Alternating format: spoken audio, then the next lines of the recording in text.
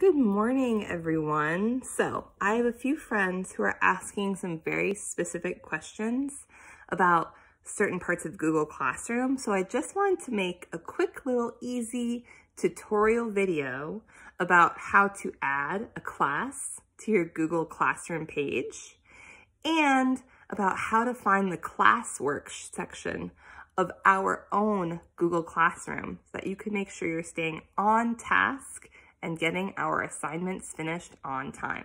So let's look at our computer. All right, so I just got an email from Miss Pritchard and she wants me to tell you that they should connect, you students should connect with the guidance lessons on Google Classroom by using the code KD6 BU6F.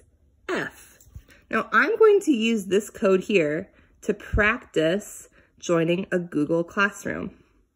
So I'm going to copy it, or I can write it down on a paper next to me, but I'm making it easy for myself. So I'm going to highlight it. And then on my computer, I have a Mac and Apple computer, so I'm going to press Command C, which means copy. Command C means command copy. And then I'll go up to my Google page and I've signed into my personal account so I can add myself to some different sections. So first I have to find my classroom. Oh, there I am. And remember, you have to be signed into an account in order to find your Google Classroom. So classroom. And then I would press the plus sign on top. So it's right here and it says create or join a class. So I'll click on that and I'll say join class. And then I would type in that classroom code, which either I wrote down on a piece of paper or I copied it to my computer. So now I can just do command V, which means paste. Command V means to paste it in. And then I would just click join. And now it's joining, and it should take a moment to load it. Oh, there it is. Grades for guidance lessons. And some of your friends from other classes are even on your guidance page. So you'll be able to have an easy time connecting with other students in our class. Now, let's say I'm already a member of a Google Classroom, right? I've already joined the class. I'm already a member of Miss Gronberg's fourth grade.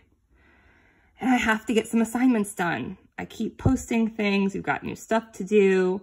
So let's go to our classwork at the top of our page. It says stream, classwork, and people. I want to go to classwork. And then it just says track your progress. See a list of your work and its current status. So you say, got it.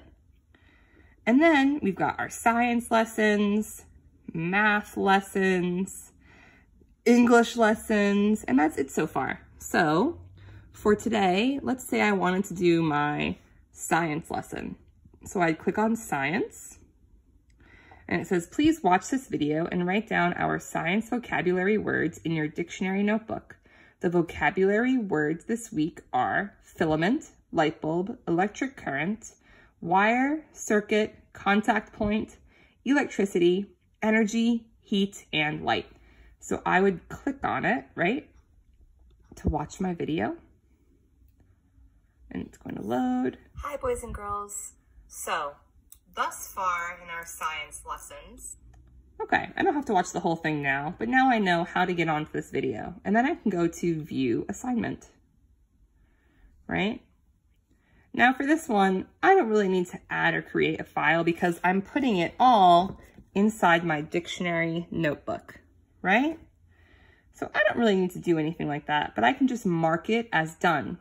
So once I've written down all of my vocabulary words in my notebook, which I already did for this video, I can just mark it as done. If I turn my brightness down. Mark as done. Done.